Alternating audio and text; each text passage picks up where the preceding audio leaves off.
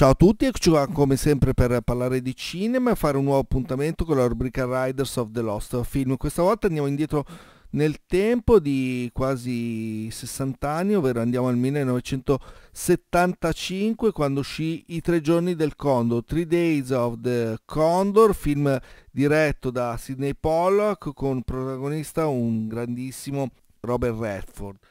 Ne parlo con grande piacere con Pierpaolo Bonelli. Ciao Pierpaolo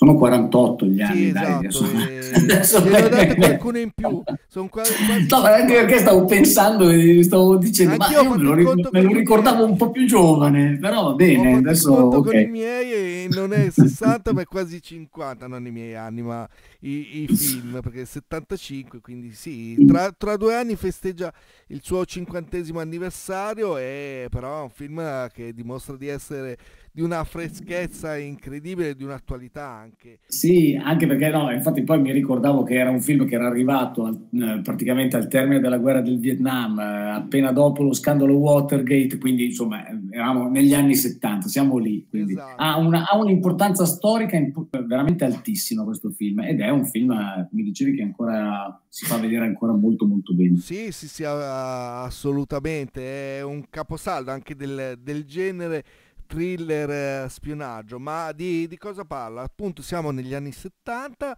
e, e, il film si apre con eh, la notizia, la notizia che in un dipartimento della, della CIA, un dipartimento piccolino, dove fanno un lavoro anche mh, mm, apparentemente noioso, ovvero leggere libri, riviste, appuntarsi informazioni sull'uso delle, delle lingue, è stato ucciso, sono stati uccisi tutti i membri, ma l'unico a essersi eh, salvato è il, il, ovviamente il protagonista, ovvero Robert Redford che interpreta Joseph, Joseph uh, Turner, soprannominato Condor, perché per una casualità lui era andato a prendere la, la colazione, quindi in quel momento non, non, non, non era in ufficio. Eh, Joseph Turner appunto appena prende la, la notizia chiama eh, in ufficio per sapere cosa è successo e eh, si organizza subito una sorta di missione per recuperare Joseph uh, Turner, per farlo tornare alla, alla, base, è il caso di dire. Ma questo tentativo di farlo tornare a casa invece darà il via a una serie di tentativi di uccidere anche lui stesso, il quale scapperà, appunto siamo a New York, nel quartiere eh, di Manhattan all'inizio del film, poi ci spostiamo anche ne- negli altri quartieri e Joseph Turner dovrà uh, salvarsi, dovrà trovare anzitutto il motivo perché anche lui vuole, vuole essere uccido, ucciso e uh, nel, nello scappare troverà aiuto a Katie Hale che è interpretata da Faye Dunaway eh, la quale all'inizio oh, ha ovviamente tutti i dubbi, ma quando capisce che Joseph Turner è onesto e sta dicendo la verità, deciderà di aiutarlo. Da qui parte una, una, una caccia al topo e, e al, al, al, colpevole perché Joseph Turner ha capito che qualcosa che lui stesso ha fatto gli, gli sta creando questi uh, problemi.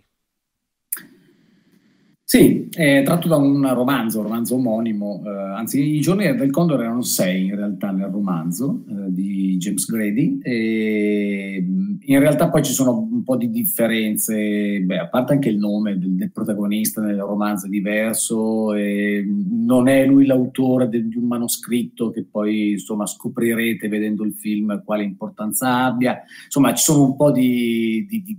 di variazioni rispetto a al, al romanzo che eh, nelle mani di, di Pollack eh, sono diventate un film che all'epoca ebbe veramente uno straordinario successo un, per tanti motivi. Intanto, vabbè, eh, è un film di spionaggio come ce ne sono veramente pochi, uno insomma, dei, dei film di spionaggio del, del cinema de, degli anni 70 più importanti. E poi per la sua importanza storica, come dicevamo, perché eh, forse uno dei film che mh, arriva nel momento forse più basso del rapporto eh, cittadino-stato, naturalmente statunitense, perché, come dicevamo, il contesto storico è quello della post-guerra Vietnam, eh, scandalo Watergate e il, eh, quindi il, il, ruolo dei servizi segreti è un ruolo eh, quantomeno di cui diffidare e la, la, la figura... Quantomeno eh, ambiguo. Eh, togliamo, sì, è ambiguo. E, e la figura di Turner rappresenta un po' la rivincita del cittadino onesto che contro tutti e tutto deve cercare di difendere se stesso, i, non solo i propri principi, ma anche la propria pelle.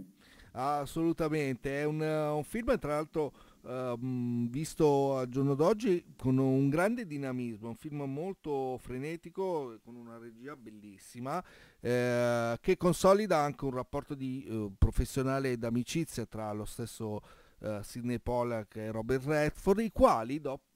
qualche anno dopo fondarono la Sundance Institute, che era fondamentalmente una, un'associazione no profit per ehm, far crescere cinefili, eh, registi addetti ai lavori e da lì è nato anche il, il Sundance Festival, mh, sempre nello stesso periodo, a metà, anzi fine anni 80 e loro due sono i pilastri di, di, di, di quel festival. Eh, cosa possiamo dire del film? Che in realtà, allora, di curiosità non ce ne sono eh, tantissime, però è un, è un film che eh, a livello di premi ha vinto veramente poco, perché ha vinto uno speciale David di Donatello, è stato solo menzionato con una nomination agli Oscar di, di quell'anno, però è un film proprio di, di genere e, come hai detto tu giustamente, mh, simbolo di, di, un periodo storico americano che, eh, come anche da un punto di vista narrativo, è stato addirittura ripreso recentemente da... Mh,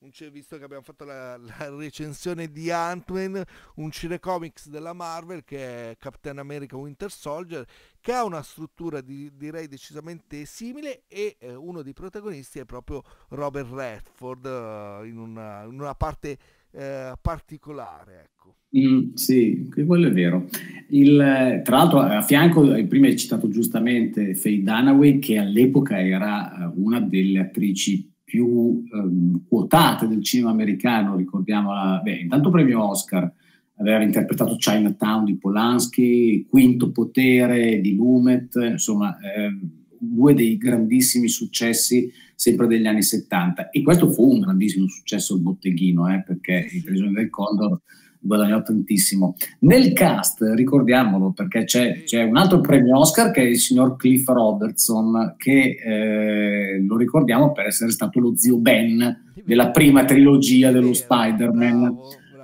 E poi un altro grandissimo attore svedese qui nella parte di un super cattivo che era Max von Sydow che nel ruolo dell'alsaziano Joubert che, è, vero, è, vero, insomma, è un altro di quei volti che nel cinema degli anni 70 si ritrova e non soltanto nel cinema mainstreaming ma soprattutto in quello d'autore.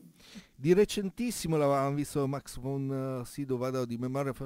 in un capitolo di Star Wars eh, faceva una piccola una, una, piccola parte. Ecco, questo è quello che volevamo dirvi in merito al nuovo film che i Riders hanno scelto, che è I Tre Giorni del Condoro, un film che trovate in, eh, in streaming, un film che sicuramente se non, non l'avete mai visto vedetelo perché vi prenderà dall'inizio alla fine e soprattutto la cosa bella è che il finale è uno dei finali più aperti, più belli che mi sia, no, personalmente mi sia mai capitato di, di, vedere, dove da lì ti puoi fare mille domande e non capirai mai chi avrà vinto. Ecco. Per questo appuntamento è tutto, come sempre grazie Pierpaolo, ciao a tutti, alla prossima.